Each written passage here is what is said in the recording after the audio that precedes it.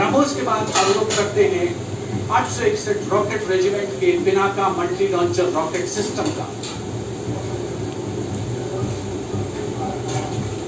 जिसका नेतृत्व कर रहे हैं कैप्टन विभोर गुलाटी पिनाका का उद्गम भगवान शिव के धनुष पिनाक पर आधारित बताया जाता है।